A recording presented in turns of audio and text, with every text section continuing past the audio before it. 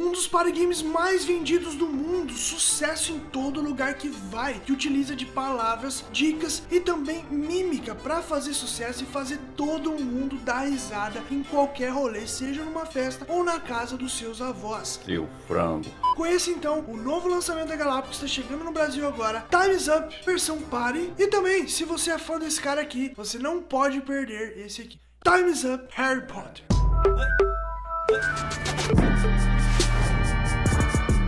Meu nome é Dalton e você está no canal Duke Board Games. Oh, yes! E nós estamos muito felizes de falar dessa belezinha aqui, galera. Que party game legal. Esse party game vai te divertir por horas e horas. Você vai dar muita risada com isso aqui. Vai poder jogar com qualquer pessoa. Por quê? Vou falar agora. Mas antes, não deixe de se inscrever aqui no nosso canal. Deixa o like aí, comenta. É, fala mal do editor, fala que o editor tá preguiçoso. Eu não estou suportando mais. Fala qualquer coisa. Fala mal de mim. É, ou me elogia, por favor, eu tô carente. Mas fale alguma coisa aqui, pelo amor de Deus. Porque nós precisamos da ajuda de vocês para nosso canal crescer cada vez mais e mais. Então vamos lá, o que, que é o Times Up e como ele funciona? Então vamos lá, galera. Times Up você vai ter várias cartas, né? Todas as cartas têm esse fundo aqui, que inclusive achei bem conceitual. Cada carta ela tem dois lados, o lado amarelo e o lado azul, que cada lado tem uma carta. No começo do jogo, os jogadores escolhem qual lado eles vão dar as dicas. Por exemplo, ah, vamos jogar com o lado azul ou vamos jogar com o lado amarelo. Beleza. Depois disso, você embaralha essas cartas aqui e vai dar uma, é, e vai distribuir uma quantidade de cartas de forma igual para cada jogador. Se você estiver jogando com Times Up clássico, você vai distribuir 40 cartas entre os jogadores. Não é 40 cartas para cada jogador, tá, gente? 40 cartas entre os jogadores, de forma que fique mais ou menos igual a quantidade de cartas para cada um. Se for jogar com o do Harry Potter, ele vai ter uma diferença, acho que são 30 cartas, que ele é um pouco mais curto tá? Beleza. Depois que você deu uma quantidade de cartas para cada jogador, cada jogador vai ler as cartas que vieram na tua mão. Vamos supor que a gente está jogando com o lado azul. E vamos lá, vamos supor que eu não sei quem é Jimi Hendrix. Não sei quem que é esse cara. Quem que é esse cara? Quem é o cantor? É pagodeiro? E eu sei que dançar com ele agora Só te imaginar meu peito chora Eu não vou te ligar e procurar saber não sei quem que é. E aí eu falo assim, não, galera, não sei quem que é Jimi Hendrix. Aí eu pego e desconto ele aqui, descarto ele. Depois que eu descartei ele, eu compro outro. Isso é legal por quê? Porque não fica aquelas, aqueles personagens, aquelas coisas que, a, que a geral não conhece, não fica perdido. Então a gente descarta cartas e compra outros se a gente não conhecer. Depois disso, galera, nós vamos para a, as rodadas. Né? Ah, eu esqueci de falar. Antes de fazer essa seleção, nós vamos formar as equipes. Eu acho bem legal nesse jogo. Esse jogo, pessoal, ele vai aqui, ó, de 4 até 12 jogadores. Então, você pode fazer equipes que tenham pelo menos dois jogadores cada, tá? Então, pode fazer até quatro equipes, se você quiser. Isso é legal, não é só duas equipes, você pode fazer três, quatro equipes. Basta ter dois jogadores pelo menos em cada um. Feito isso, todos os jogadores vão dar as suas cartas que estavam com ele e vão misturar as cartas, formando um baralho comum. Cada jogador vai lá, dá as cartas, das cartas. E aí é o seguinte, depois que a gente criou um baralho comum, nós vamos para a fase de dicas. Uma pessoa de cada equipe, né, uma pessoa de uma da equipe, né, vai dar dicas para a sua equipe tentar acertar aquela carta. Nessa primeira fase é uma fase bem de boa. Você pode falar quantas palavras você quiser ali e tal, só não pode falar uma palavra que contenha na, na dica em questão. Então, por exemplo, vamos supor que a dica seja Round 6. Eu falo pro meu grupo, série da Netflix muito famosa. A galera vai lá, e fala assim: ah, poderiam falar La Casa de Papel, poderiam falar Narcos, poderiam falar.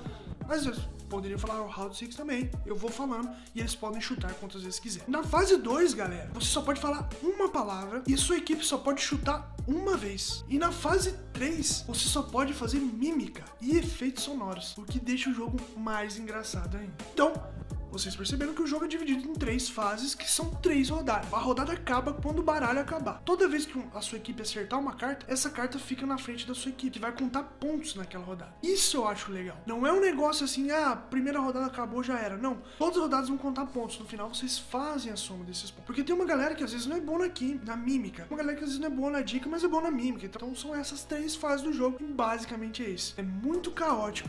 E eu tenho certeza que vai dar muita risada com isso aqui. Só que tem um detalhe, galera. Esqueci de falar. Todas essas fases que rolam no jogo tem um cronômetrozinho. Quando você for dar a dica, esse cronômetro vai estar tá rolando aqui, ó. Você só tem exatamente 30 segundos pra fazer a sua equipe acertar o máximo de cartas possível. Por isso que é difícil, galera. Não é tão fácil como vocês estavam imaginando. Achou que eu tava brincando? Por isso que o jogo chama Time's Up, ou seja, tempo correndo. Acertou. Além do Time's Up clássico, nós temos também o Time's Up Harry Potter. Olha essas cartas que bonitinho. Bonito. Qual que é a diferença do Time's Up clássico do Harry Potter? Além da temática, galera, não tem muita diferença, tá? Que mudam muitos as, as, as dicas são realmente baseadas nos filmes do Harry Potter, isso é óbvio, né? E também a diferença é que você trabalha, joga com menos cartas, e ou seja, o tempo de duração do jogo é um pouco menor. Mas assim, para quem é fã de Harry Potter, isso aqui, pô, é essencial. Então nós temos várias dicas, tipo capa da invisibilidade, Wingardium Leviosa. Como é que você faria essa, essa mímica aí? Ah, Wingardium Leviosa. Defesa contra a arte das trevas. Então, assim. Mas eu acho que vocês devem estar se perguntando é o seguinte: se a pessoa não assistiu os filmes do Harry Potter, ou às vezes só conhece o básico, ela pode jogar isso aqui? Pode sim. Por exemplo, eu não assisti todos os filmes. É claro que vai ter um personagem ou outro que eu não sei, né? Ou alguma situação ou outra que eu não vou saber. Mas, por isso que tem aquela preparação inicial. Se você não souber alguma carta, você pode ir tirando. Isso ajuda bastante na hora de eliminar a carta ali que a maioria não conhece. Eu sei que você esteja numa mesa só com, com a galera do Harry Potter, fandom do Harry Potter, só você lá, de boa, que não conhece. Aí você se ferrou.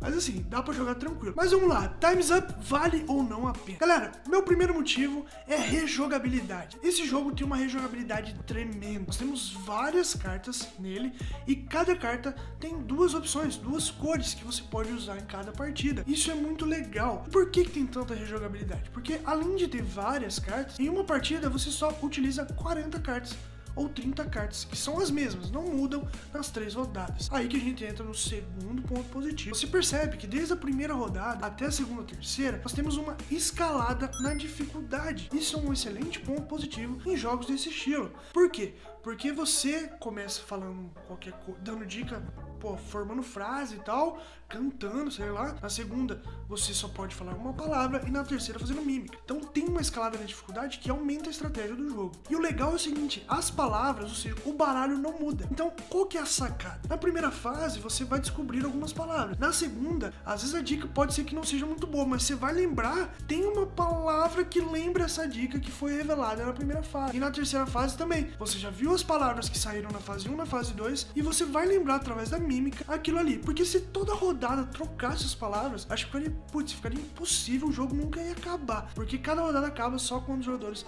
adivinharam todas as cartas. Então, com essa escalada da dificuldade, só com as mesmas palavras, o jogo fica mais dinâmico e você tem que pensar bem rápido para ter vantagem. Um outro ponto positivo é a, o modo de pontuação do jogo. A maioria dos jogos, como Código Secreto, outros jogos é, que a gente gosta bastante, dicas, chegou na pontuação X ganhou. Esse não, você tem três rodadas, você pode ir mal na, na primeira e bem na segunda, e mais ou menos na terceira que você pode ganhar o jogo. Ou você pode ir mal na primeira, mal na segunda, e na terceira você ganha o jogo na mímica. Então, essa pontuação, essa questão de você querer se superar, a sua equipe querer superar a outra equipe, você vendo tanto que as equipes estão pontuando, você tentando superar essa pontuação, é um fator muito legal desse jogo. Outro ponto legal do jogo, galera, é a variedade de personagens, de figuras históricas, de, de conteúdo que esse jogo tem. Time's Up clássico, inclusive, se você não souber algum personagem ou, ou, é, ou, por exemplo, não conhecer aquele personagem específico, tem um livro de biografia que você pode pesquisar. Ah, quem que é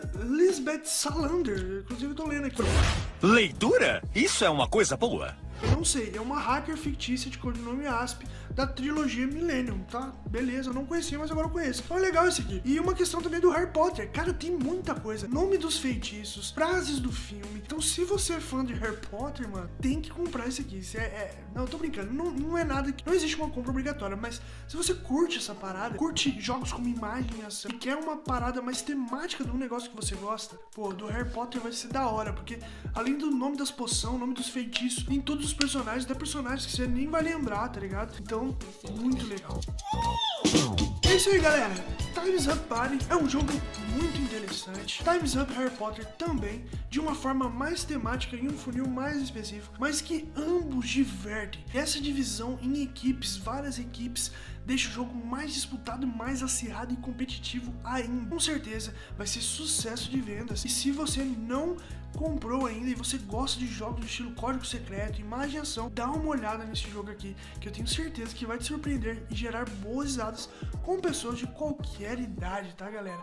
Uma ótima aquisição para esse ano aqui, Dux House, e nós estamos muito felizes e mal vemos a hora de jogar Times Up novamente, enquanto o tempo tá correndo e eu devo acabar essa análise antes que os meus 30 segundos para dar uma dica para vocês. Acabe então, até mais!